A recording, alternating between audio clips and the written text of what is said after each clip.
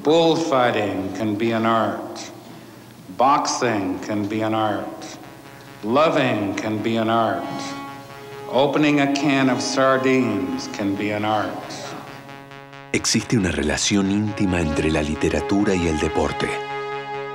Camus, prix Nobel 1957. Gablé, c'est quand on est au milieu des bois qu'on s'aperçoit que c'est difficile. El deportista no puede esconderse. A través del juego se muestra tal cual es. Lo mismo le sucede a los escritores con su arte, si son buenos. To write is a very um, solitude. You, know? you have to uh, walk alone when you're writing. Solo las mentes más fuertes pueden resistir actividades de largo aliento. It takes endurance. Endurance is more important than truth.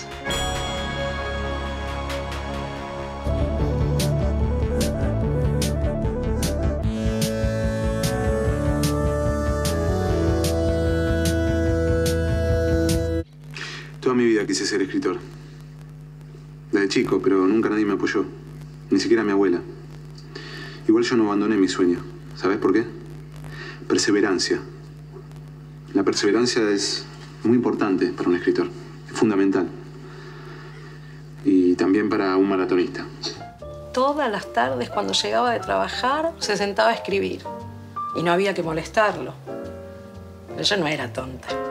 Sabía que no había escrito una sola palabra. Pensaba que lo hacía para evitarme.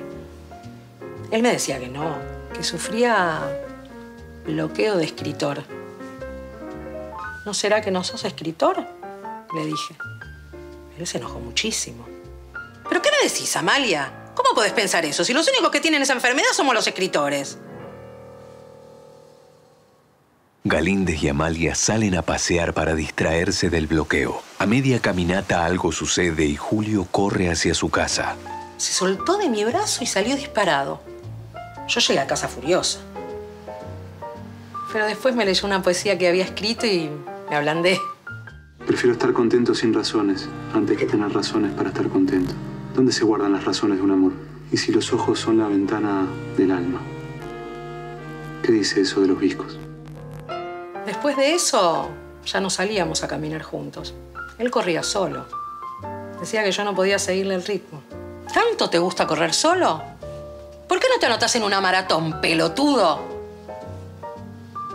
Y se anotó. Y ganó.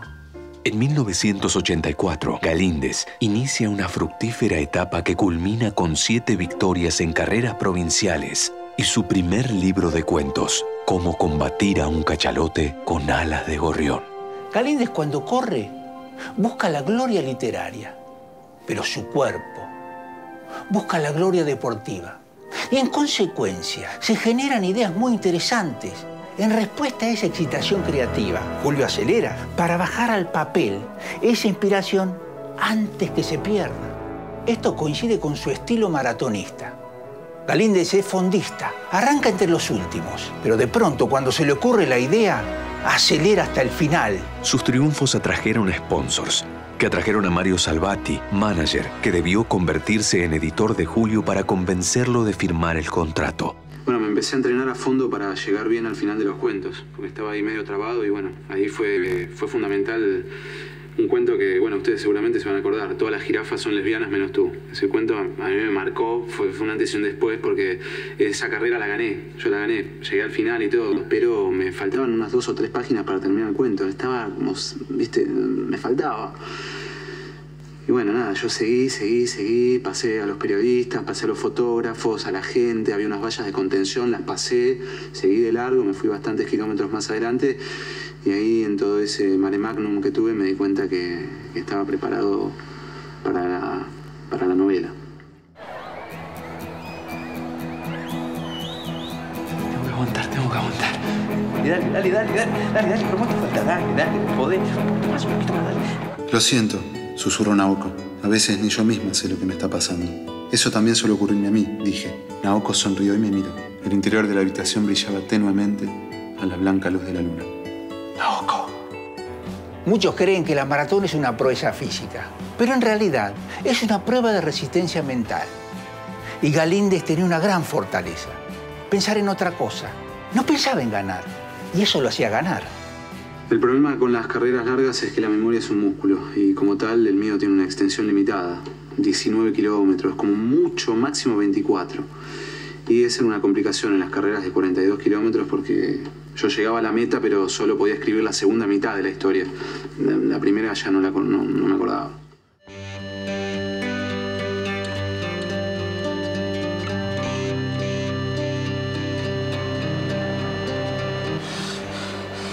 Un lápiz. Préstame, préstame, pásame un lápiz. Y nadie tenía un lápiz para prestarme. Llegué al vestuario y la tercera o cuarta parte de todo lo que había pensado e imaginado se me borró. Nada, quedé en cero casi. Julito seguía enseguecido con escribir una novela. Decía que era la vara para medir a un autor. Quiso grabarse con un Walkman, pero más de una vez tropezaba con el cable. Después le pidió a su representante que lo siguiera con la moto y una grabadora. Julio tenía que gritar para hacerse escuchar. Quedaba exhausto. Debido a estos experimentos, Galíndez dejó de ganar, lo que generó discusiones con su manager y su mujer. Lo de escribir estaba bien, pero como hobby. Pensá que es más fácil felicitarlo por una maratón que por un libro, que es algo tan subjetivo. En la maratón se sabe quién gana. Entonces yo no tenía necesidad de mentirle. En 1988, la famosa revista literaria The New Yorker nos propone realizar una crónica de la media maratón de New York desde el punto de vista del ganador. Verdad que la racha de derrotas no, no me preocupa tanto. De hecho, en las carreras pierden todos menos uno, ¿o no? Es así. Lo que sí me preocupa es que mm, hace mucho que no escribo cuentos cortos. Y ahí publicaron Capote, Yates, Salinger, Chiver. Me joda.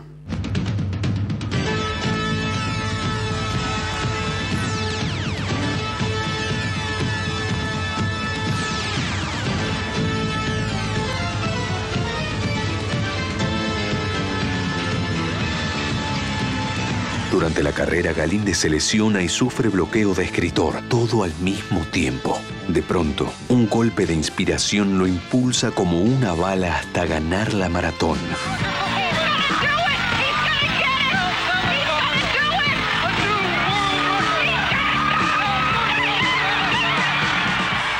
Sin embargo, la revista rechaza el texto. En vez de una crónica, Julio había escrito un cuento barroco situado en una monarquía del siglo XV, con ovnis.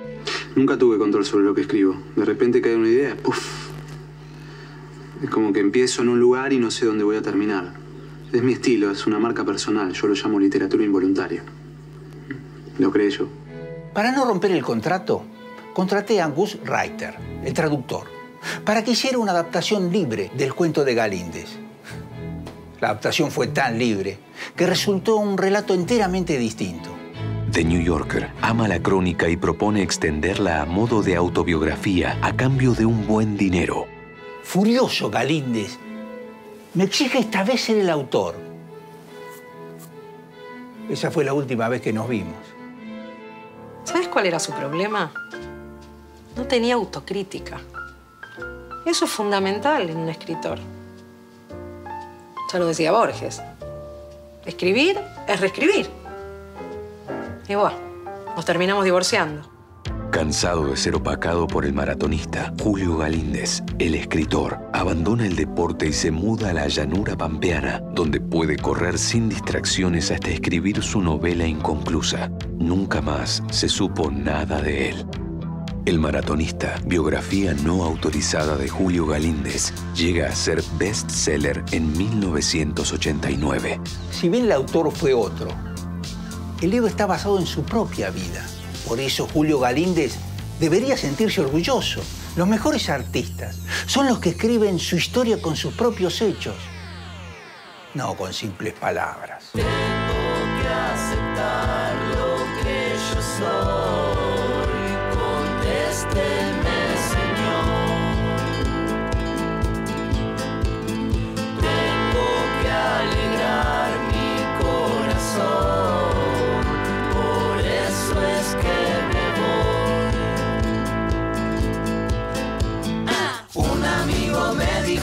Soy soñador por creer que las cosas no son como son ellas son como creo que quiera que vayan a ser, vayan a ser, van a ser una oreja en una flor.